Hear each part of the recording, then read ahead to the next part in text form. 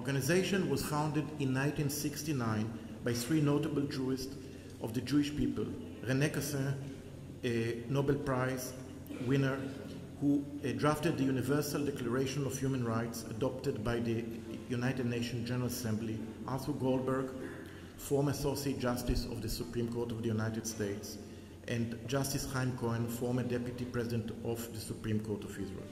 Our organization strives to represent the interests of the Jewish people, but also endeavors to defend universal human rights whenever needed.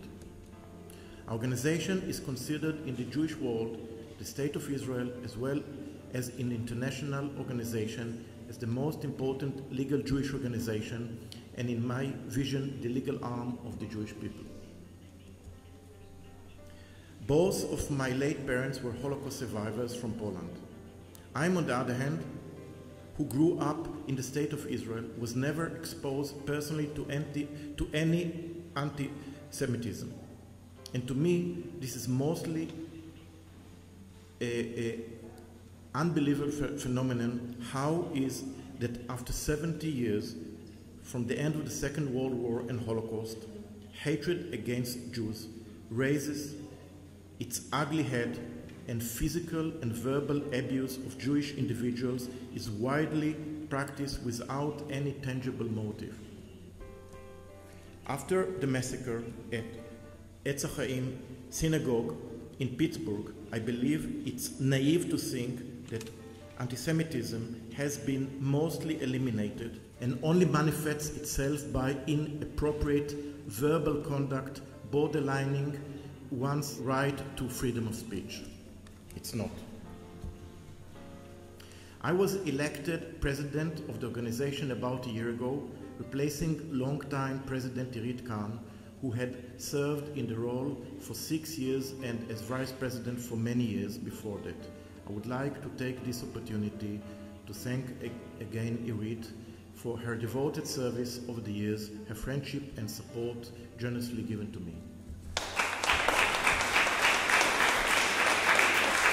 True that each leader has a way of doing things. And I believe that alongside our organization's historical role of practicing advocacy and education, we must also be an organization with an ability to act and strike back effectively, implementing legal measures against anti-Semitism. Holocaust denial as well as attempt to eradicate the legitimacy of the State of Israel being the home of the Jewish people unmistakably an additional form of anti-Semitism. The first of such legal action had been motion against FIDE, the World Chess Federation, after it accepted de facto the boycott of Israel chess players at the contests held in Saudi Arabia.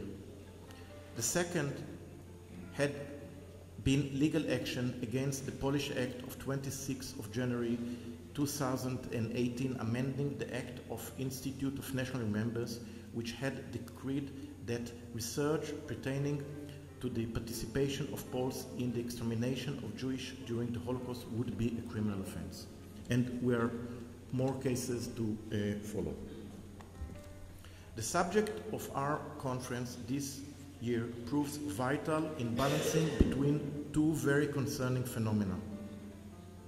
The rise of nationalism and eradication of tolerance on the one hand, and religious radicalization on the other.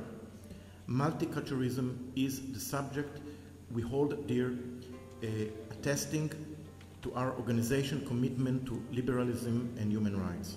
I wish all of us a very pleasant conference. Thank you.